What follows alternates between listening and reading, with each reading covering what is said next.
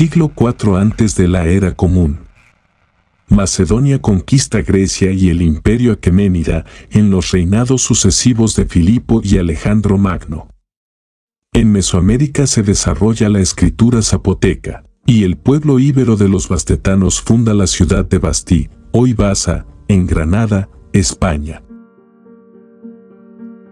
La historia de la fotografía comienza en este momento, Diferentes pensadores y filósofos plantearon los conceptos que resonaron cientos de años después, para lograr capturar imágenes de nuestra realidad.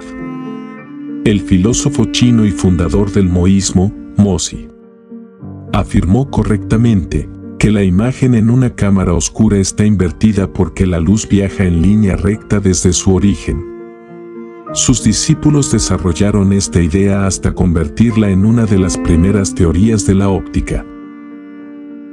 Asimismo, el filósofo griego Aristóteles conocía el principio de la cámara oscura. Observó que la luz del sol que viaja a través de pequeñas aberturas entre las hojas de un árbol, los agujeros de un tamiz, las aberturas de los mimbres e incluso los dedos entrelazados crearían manchas circulares de luz en el suelo. También Euclides mencionó la cámara oscura como demostración de que la luz viaja en línea recta, y el erudito griego Teón de Alejandría observó que, la luz de una vela que pasa a través de un agujero de alfiler creará un punto iluminado en una mampara, que esté directamente en línea con la abertura y el centro de la vela. Año 1021. El pueblo vikingo forma un asentamiento en Lansumedos en Terranova, Canadá, y en Noruega fallece Rurek Daxun, rey de Hedmark. En los territorios del actual Irak, Abu Ali al-Hassan, conocido en Occidente como al-Hassan, escribe su obra titulada Libro de Óptica. Es un tratado en siete volúmenes sobre óptica y sobre otros campos del saber, el texto presenta fundados argumentos experimentales contra la por entonces ampliamente difundida teoría de la emisión de la vista sostenida por Euclides en su óptica, argumentando a favor de la teoría de la intromisión, apoyada por pensadores como Aristóteles. Alhazen señalaba el hecho de que los ojos pueden sufrir daños por mirar directamente a luces muy brillantes como el sol. También planteó la baja probabilidad de que los presuntos rayos emitidos por los ojos pudieran cubrir la enorme distancia existente hasta las estrellas apenas en un parpadeo. Utilizando la teoría de la intromisión como fundamento, desarrolló su propia teoría de que cada punto iluminado de un objeto emite rayos de luz en todas direcciones, que de esta manera pueden alcanzar los ojos de un observador.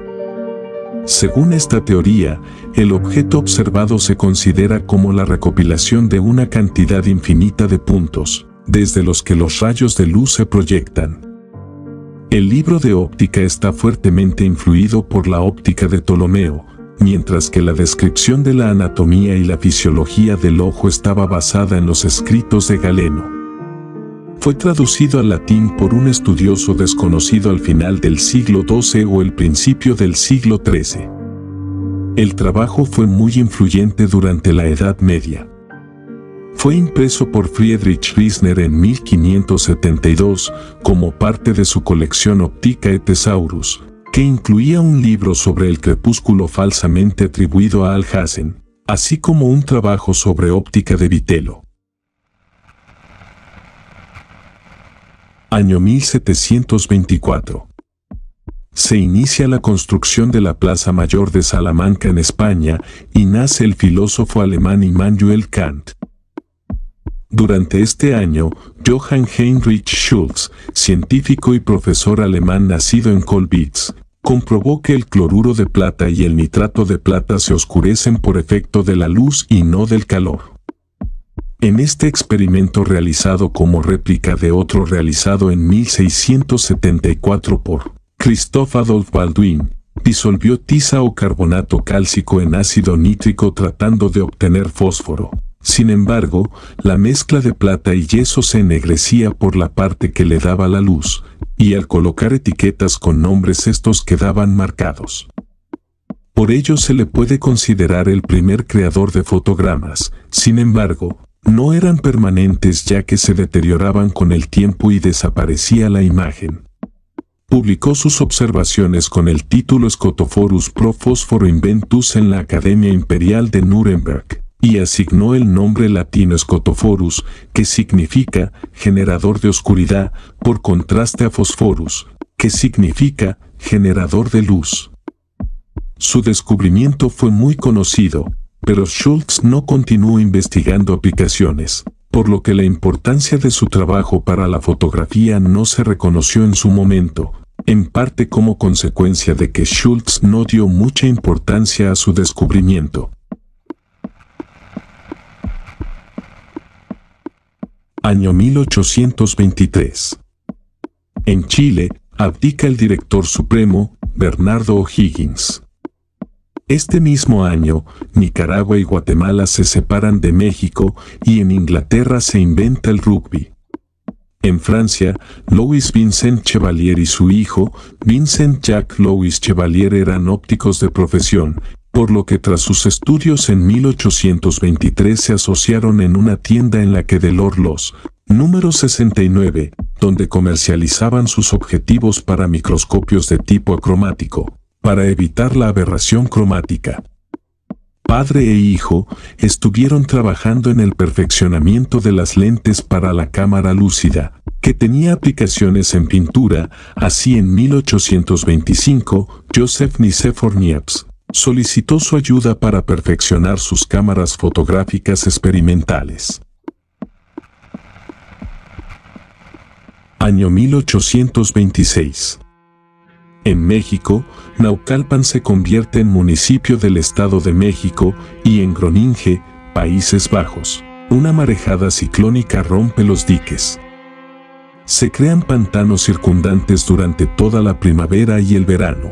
Esto genera una epidemia de fiebre intermitente que afecta al 10% de la población. En este tiempo, Joseph Nicephore Niepce, físico, litógrafo, inventor y científico aficionado francés, logra capturar Pont de Boudougras, que es la fotografía permanente más antigua que se conserva. Fue tomada en junio desde la ventana de su casa. Niepce capturó la foto con una cámara oscura enfocada en una placa de peltre de 20 por 25 centímetros, tratada con betún de Judea. Como resultado de las ocho horas de exposición, la luz del sol ilumina los edificios de ambos lados. El betún de Judea se extraía antiguamente del Mar Muerto y en el siglo XIX se pudo conseguir de rocas bituminosas. En la antigüedad los egipcios lo usaban para embalsamar momias. Niepce declaró en una oportunidad, el descubrimiento que he hecho y que llamo heliografía, consiste en reproducir espontáneamente, por la acción de la luz, con gradaciones de tintes de blanco a negro, las imágenes recibidas en la cámara oscura. Años antes de esta fotografía, en 1814 registró, usé parte del tiempo mientras estaba aquí para hacer una especie de ojo artificial, que no es más que una pequeña caja de 6 pulgadas cuadradas. La caja estará equipada con un tubo que se puede alargar y llevará un vidrio lenticular. Este aparato es necesario para completar correctamente mi proceso. En 1816 dijo, ahora debo hacer tres cosas. Primero, dar más nitidez a la representación del sujeto. Segundo, transponer los colores. Y tercero, fijarlos permanentemente, lo que no será lo más fácil de los tres. En 1898, la fotografía Pont de Boudougras fue expuesta al público por última vez, posteriormente cayó en el olvido. Helmut Herrnsheim, un historiador del arte, la volvió a dar a conocer en 1952, y la compañía Kodak hizo una copia, que es la más conocida mundialmente. Año 1833 en Estados Unidos, el inventor Samuel Morse presenta al público el telégrafo eléctrico. En el Teatro La Fenice de Venecia, Italia, se estrena la ópera Beatrice di Tende de Vincenzo Bellini, y en Francia fallece Joseph Nicéphore Niepce.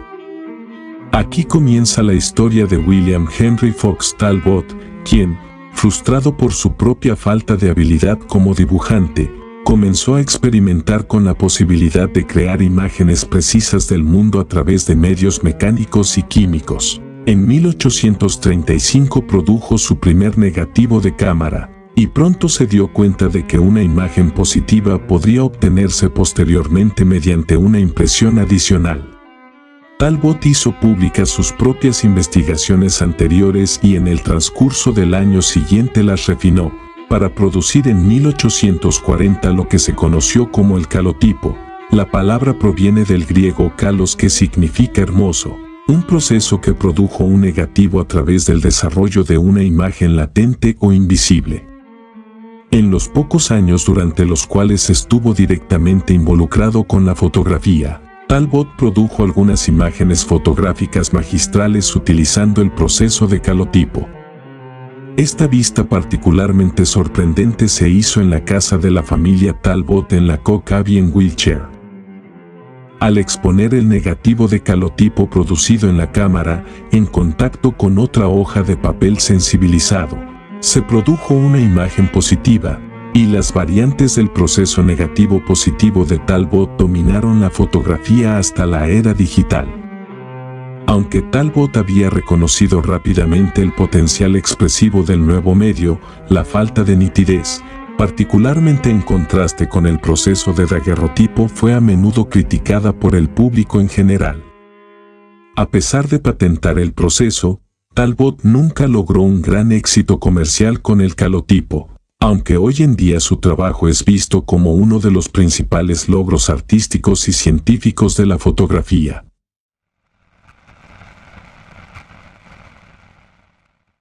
Año 1839.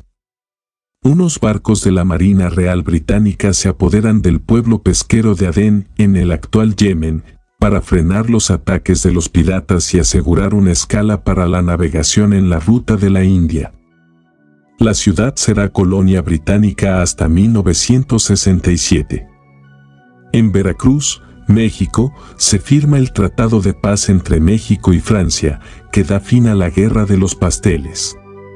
Durante este momento histórico, Louis-Jacques Mondé Daguerre desarrolló el primer procedimiento fotográfico anunciado y difundido oficialmente, fue desarrollado y perfeccionado a partir de las experiencias previas inéditas de Niepce, anteriores a 1826. Posteriormente se conoció este proceso como daguerrotipo en honor a su inventor. En Estados Unidos, así registró los hechos el Cherou Gazette, 4 de octubre de 1839. El secreto del maravilloso invento de Daguerre que representa en papel la imagen exacta de cualquier paisaje, se ha hecho público. La publicación fue realizada en primicia por este inventor de la Academia de Ciencias. Copiamos a continuación la parte final de un análisis de su conferencia o exposición que enuncia el proceso.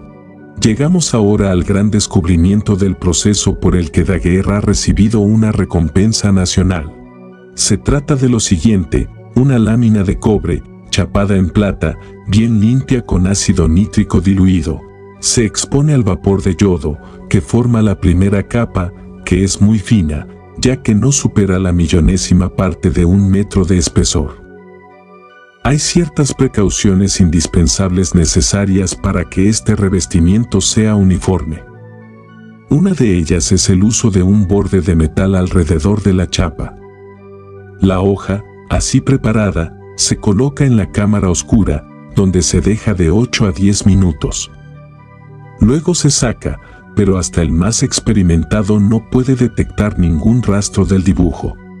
La hoja se expone ahora al vapor de mercurio, y, cuando se ha calentado a una temperatura de 60 grados de Reaumur o 167 Fahrenheit, los dibujos salen como por encanto, un hecho singular y hasta ahora inexplicable en este proceso es que la hoja cuando se expone a la acción del vapor debe estar inclinada, porque si se coloca en una posición directa sobre el vapor, los resultados serían menos satisfactorios.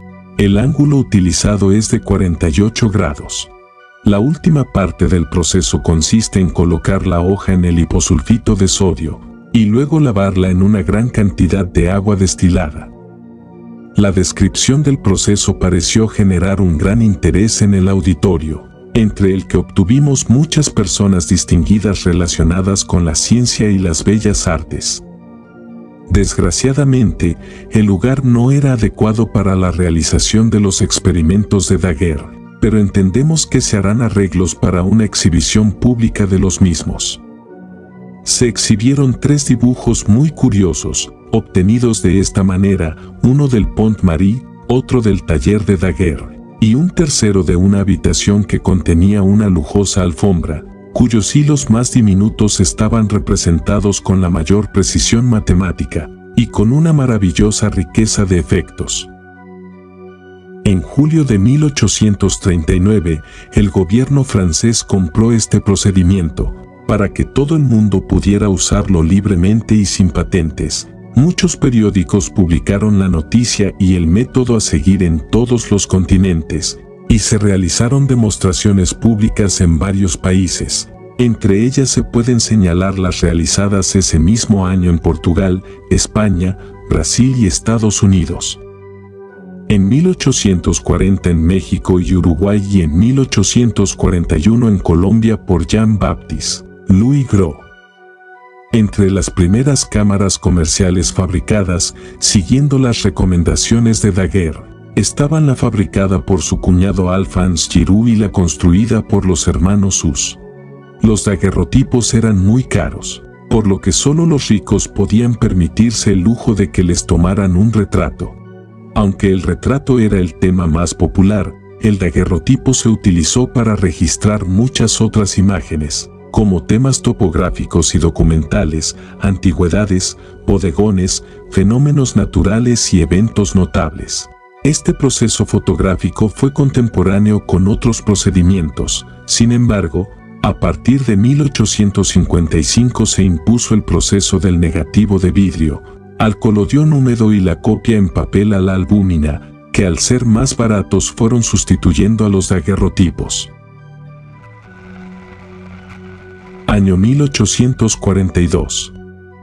La montaña más alta de los Pirineos, el Pico Aneto, es escalado por primera vez por el montañista exoficial ruso, Platón de Chihachev y sus compañeros y el navío HMS Driver sale de Portsmouth, en el Reino Unido, en dirección a las Indias y a China, siendo el primer barco de vapor en dar la vuelta al mundo. En Reino Unido, el procedimiento de cianotipia es inventado por Sir John Herschel en 1842. Es un procedimiento fotográfico monocromo, que consigue una copia en negativo del original en un color azul de Prusia. Sir John publicó su investigación de la luz sobre los compuestos de hierro, esperando que las reacciones fotoquímicas revelaran, en forma visible para el ojo humano, el extremo infrarrojo del espectro electromagnético detectado por su padre, Frederick William Herschel.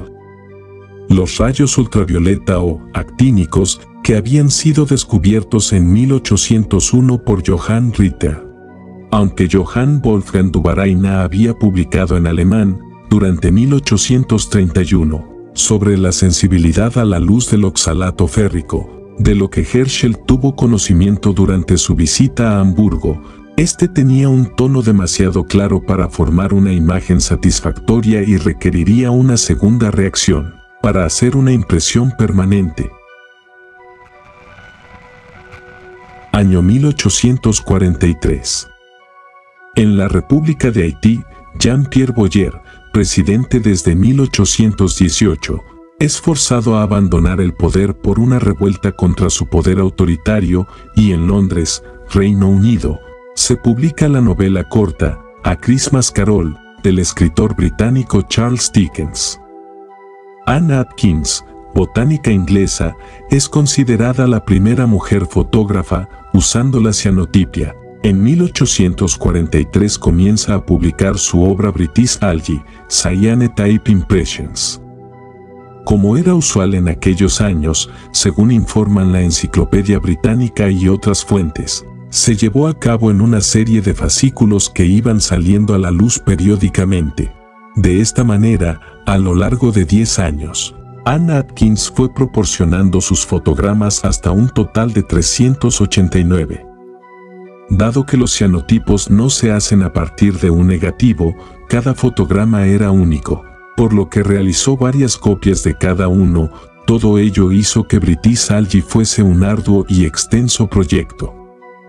Entre la comunidad de especialistas existe hoy consenso en que el libro generado fue realmente magnífico.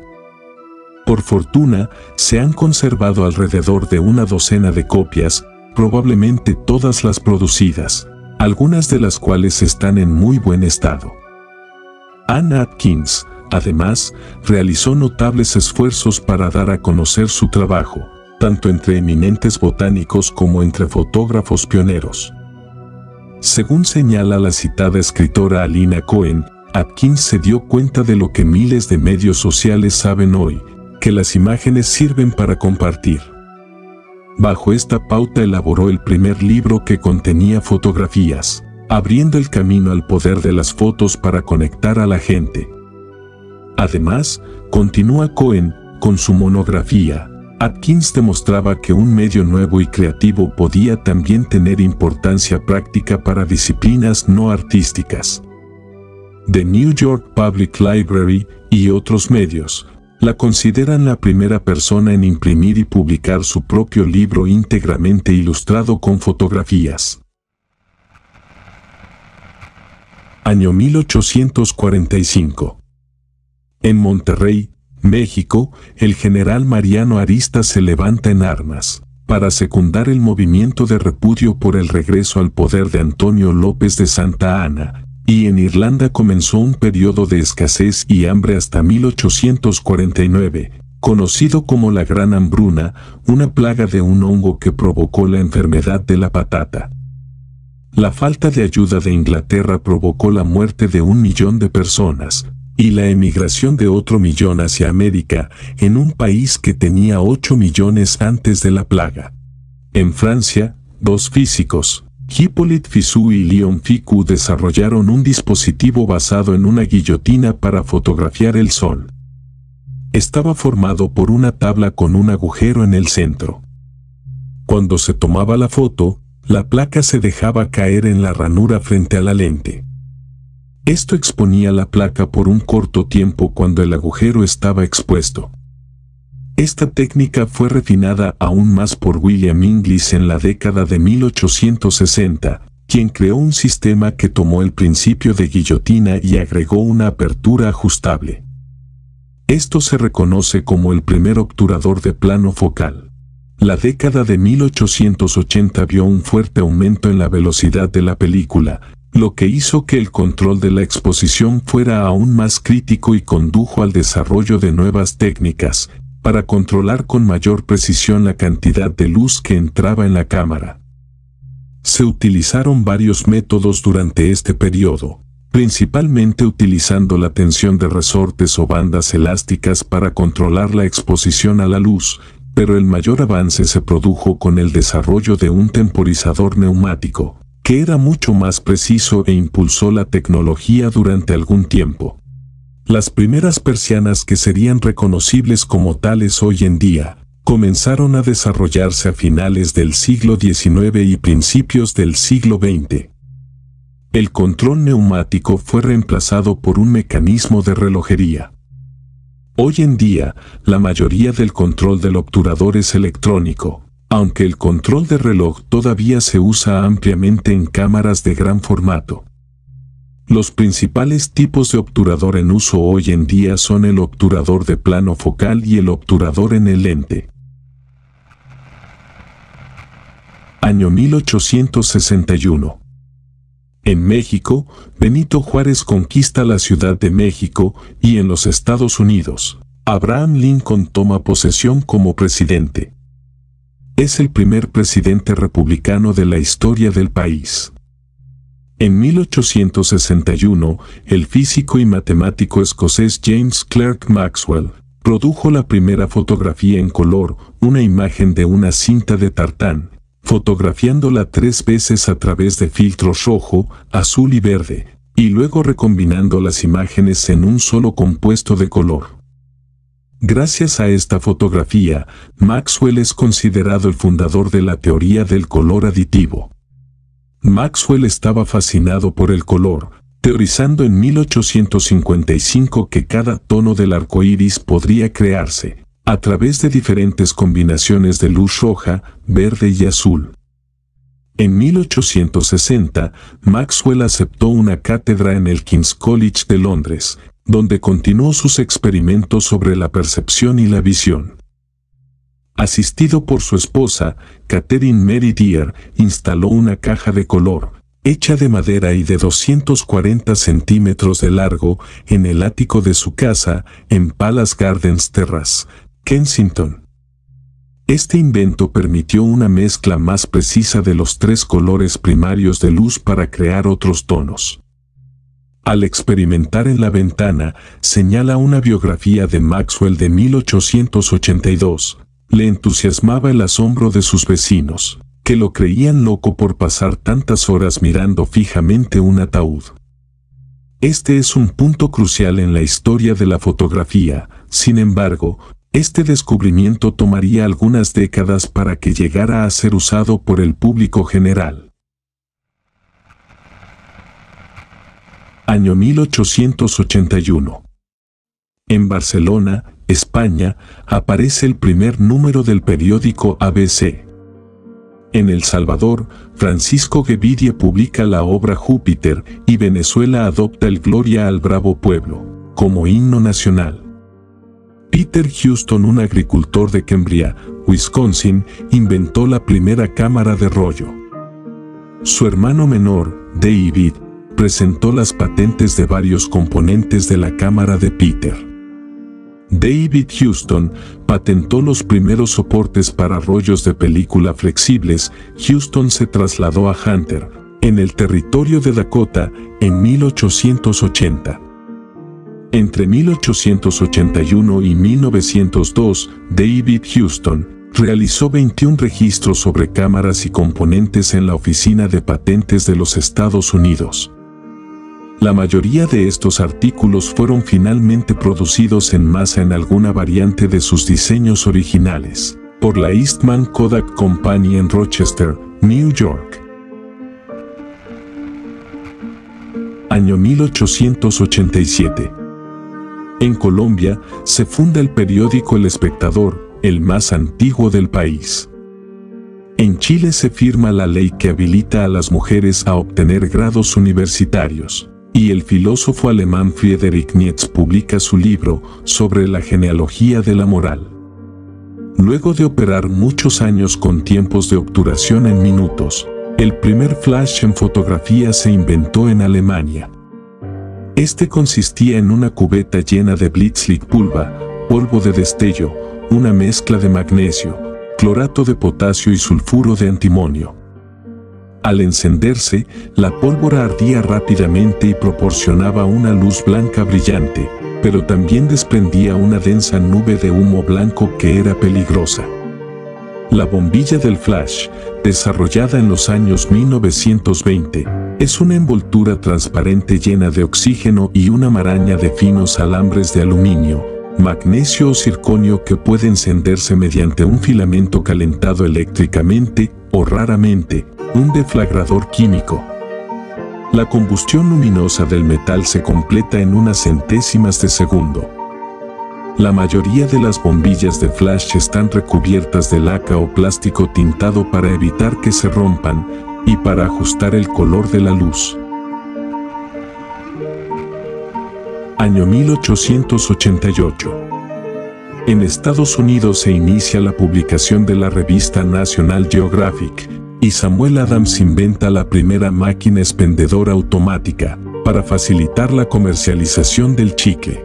George Eastman, empresario estadounidense que fundó la Eastman Kodak Company, compró las patentes de los hermanos Houston de la película flexible en rollo en 1881 y una revisión de 1886 que compró por 5 mil dólares y en 1888 introdujo la cámara Kodak que usaría esta película. Utilizaba un rollo de película de 100 exposiciones que generaba imágenes circulares, de 6.6 centímetros de diámetro. En 1888, la Kodak original se vendió por 25 dólares cargada con un rollo de película e incluía un estuche de cuero. Estaba equipada con un obturador de barril giratorio exclusivo de este modelo.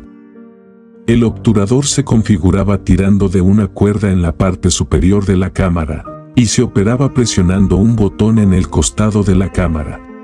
Después de tomar una fotografía, se utilizaba una llave en la parte superior de la cámara para enrollar la película en el siguiente cuadro.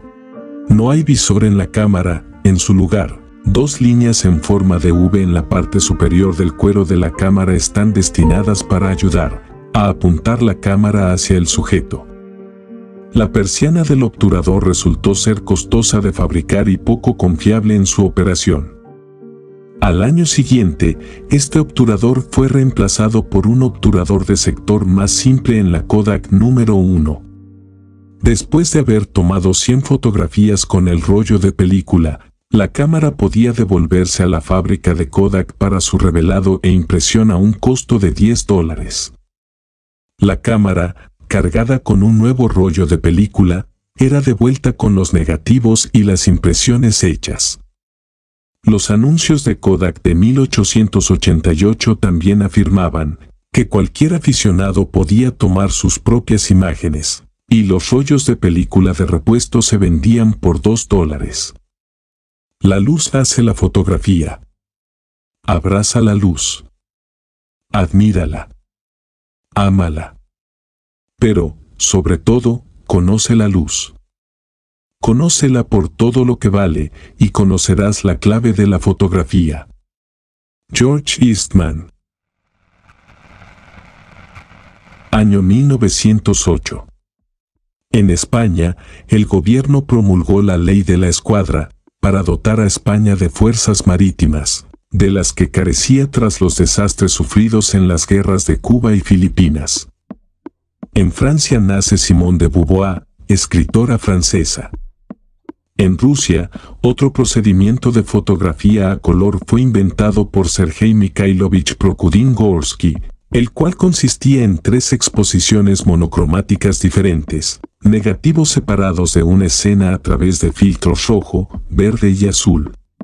La primera foto a color en Rusia, una foto del novelista Liev Nikolaevich Tolstoy le llevó a la fama, y consiguió una audiencia con el zar Nicolás II quien encargó a Prokudin Gorsky documentar el imperio ruso y le otorgó acceso especial a sus áreas restringidas. Viajó con un pequeño equipo en un vagón de ferrocarril especialmente equipado, fotografiando iglesias, monasterios e industrias emergentes, así como la vida cotidiana y el trabajo de la diversa población de Rusia.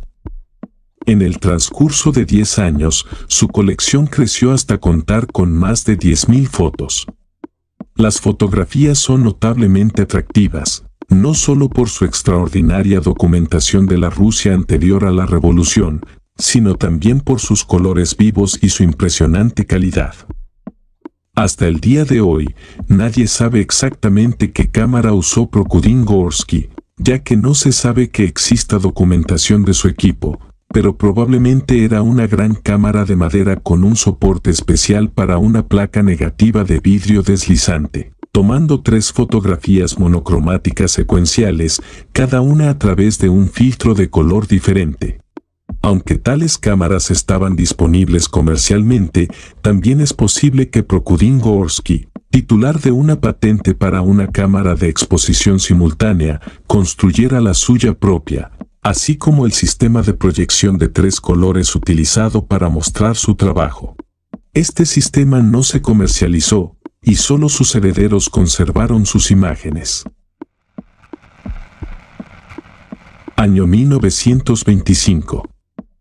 El 17 de junio se firma el Protocolo de Ginebra, el que prohíbe el uso de armas químicas y biológicas. En la Unión Soviética se estrena la película El acorazado Poutemkin de Sergei Eisenstein, y Francis Scott Fitzgerald publica El Gran Gatsby.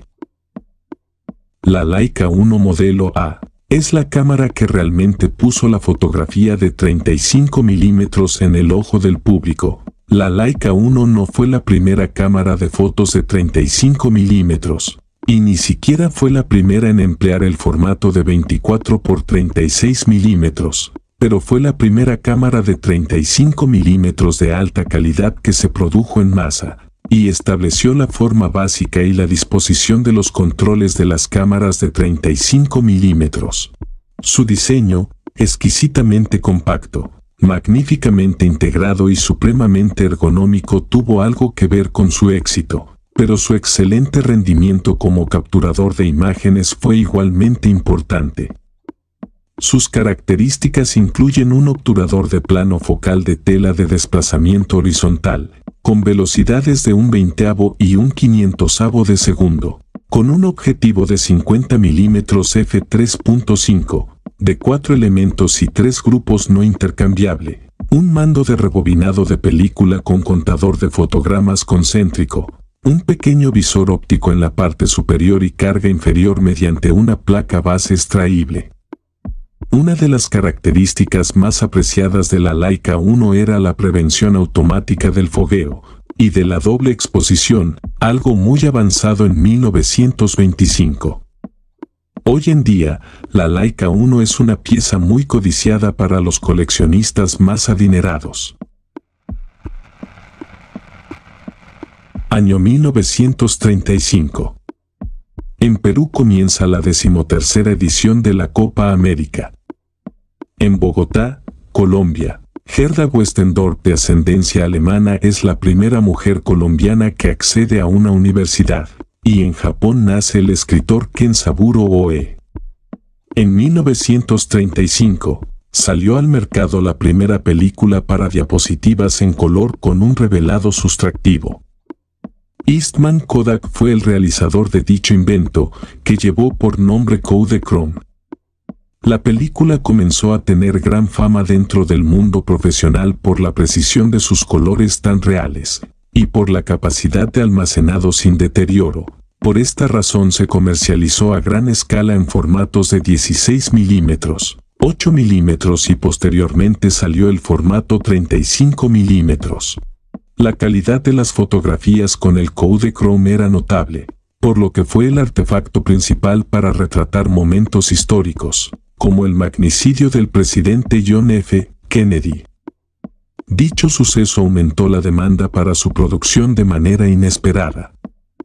Además, fotoperiodistas de renombre como Steve McCurry, reconocido por su fotografía, La Niña Afgana, la utilizaron para retratar los sucesos sociales que aquejaban al mundo, y posteriormente pasaron a la historia. Año 1947. En la Antártida se establece la base naval chilena Arturo Prat. En Argentina se crea la Ley 13.010 de sufragio femenino, impulsada por Evita Perón, y en Estados Unidos nace Stephen King, escritor estadounidense. El inventor Edwin H. Land, fundador de Polaroid Corporation en Cambridge, Massachusetts, hizo una demostración de una cámara instantánea y de la película que usaba, llamada cámara Land. Polaroid fabricó originalmente 60 unidades de esta primera cámara, denominada Polaroid Land modelo 95. Producía fotografías impresas en aproximadamente un minuto. 57 de estas cámaras se pusieron a la venta en los grandes almacenes Jordan March de Boston, antes de las vacaciones de Navidad de 1948. Los responsables del marketing de Polaroid supusieron que la cámara y la película permanecerían en stock el tiempo suficiente para fabricar una segunda tirada, en función de la demanda de los clientes, pero las 57 cámaras y toda la película se vendieron el primer día. Año 1959. En el paso Diatlov, cerca de los montes Urales, Rusia, mueren nueve excursionistas en extrañas circunstancias. En Ecuador el cantante Julio Jaramillo debuta en la televisión y en Michoacán nace Marco Antonio Solís, cantautor mexicano. La legendaria Nikon F fue la primera reflex de calibre verdaderamente profesional que se concibió, desde su inicio, como la base de un sistema reflex profesional de alta calidad. La Nikon F se mantuvo en producción, con cambios relativamente menores, durante casi 14 años, durante los cuales estableció a Nikon como la principal cámara profesional de 35 milímetros, una posición que no fue desafiada seriamente por Canon hasta la era del autofoco. Su pentaprisma extraíble y el sistema de acoplamiento del medidor externo permitieron a la Nikon F adaptarse a los últimos avances en tecnología de medición, mediante la actualización del prisma del medidor y su montura F ha perdurado, con algunos cambios relativamente menores, hasta la era digital actual, un ejemplo notable de no obsolescencia. Aunque la Nikon F no es realmente un avance tecnológico, aparte de ser la primera reflex con un accesorio de accionamiento más eléctrico, y la primera en ofrecer un objetivo con control de perspectiva, es la cámara que marcó la edad de oro de las reflex de 35 milímetros. Entre sus características destacan un obturador de plano focal de lámina de titanio con velocidades de entre 1 y 1 milésimo de segundo, visores y pantallas intercambiables y respaldo extraíble. Estaba disponible con una amplia gama de objetivos y accesorios especializados. Año 1969. En California, Estados Unidos, helicópteros de la Guardia Nacional fumigan con polvo de herbicida sobre manifestantes reunidos en contra de la guerra de Vietnam. Y en Montreal, Canadá, terroristas de FLQ hacen estallar una bomba en la bolsa de valores. En este año sucedió un importante avance que permitió el despegue de la fotografía digital. El CCD es un sensor de luz que se sitúa detrás del objetivo y captura la imagen, ocupando esencialmente el lugar de la película en la cámara. Las primeras cámaras que utilizaron sensores CCD fueron modelos industriales especializados fabricados por Fairchild en la década de 1970. En la década de 1980, las cámaras portátiles empezaron a abandonar la película. Esto comenzó en 1981, cuando Sony demostró un prototipo de modelo Mavica, cámara de vídeo magnética. Sin embargo, no era estrictamente una cámara digital. Técnicamente, la Mavica era una cámara de televisión que tomaba fotogramas. Estas cámaras electrónicas analógicas fueron precursoras de las digitales en el sentido de que grababan imágenes en soportes electrónicos, pero técnicamente seguían grabando datos analógicos. Canon lanzó la primera cámara electrónica analógica que realmente salió a la venta, la RC701, en 1986. A este modelo profesional le siguió un modelo de consumo, la RC250 Sapchuot, en 1988. La Sapchuot se llamó Yon en Europa o Kupik en Japón. Costaba 499 dólares en Estados Unidos, pero los consumidores tenían que desembolsar otros 999 dólares en una batería, una tarjeta de interfaz de ordenador con software y disquetes. Año 1987. Arita Franklin se convierte en la primera mujer que entra en el Salón de la Fama del Rock. Este mismo año la banda estadounidense Guns N' Roses publica el álbum debut más vendido en la historia, Appetite for Destruction. La primera cámara EOS de Canon sale al mercado, contaba con las últimas tecnologías de la época, incluyendo un super microordenador y un sensor basis desarrollado por Canon para un autofoco de alta precisión. La EOS 650 presumía de un autoenfoque incomparable. Cada objetivo EF tiene su propio motor incorporado óptimo para el autoenfoque, y solo se intercambian señales electrónicas entre el objetivo y el cuerpo de la cámara. es un sistema de autofoco ideal. Como no hay ruido de conducción de alto par, el autoenfoque es rápido. También se desarrolló con éxito el motor ultrasónico de alta precisión. La EOS fue el inicio de una nueva y única serie de cámaras SLR con autofoco. Año 1997. En Escocia, científicos anuncian que han logrado clonar una oveja llamada Dolly. En Japón se publica el primer capítulo del manga One Piece. Y en Guadalajara, México, el fenómeno del niño provoca la única nevada registrada en 116 años. El primer dispositivo móvil equipado con una cámara fue inventado por Philip Kahn. Este invento fue una mezcla de varios dispositivos, un ordenador portátil, un teléfono móvil y una cámara digital. La primera foto tomada y enviada desde este dispositivo es la hija recién nacida de Philip. Aunque Khan comenzó a trabajar con Motorola para desarrollar un teléfono capaz de tomar fotos, el primer teléfono con cámara que conocemos es el Samsung SCH V200 un terminal que se lanzó en Corea del Sur en junio del 2000, que estaba equipado con una cámara de 0.35 megapíxeles y podía almacenar hasta 20 fotos. En 2001, el Nokia 7650 con cámara de 0.3 megapíxeles fue el primer terminal de la empresa en explotar comercialmente la cámara. El precio de este era de unos 600 dólares. El precio de estos dispositivos siguió bajando a medida que su mercado se expandía. En julio de 2004 la AudioVax PM8920, con una cámara de 1.3 megapíxeles, podía producir imágenes de 1280 x 960 píxeles de resolución.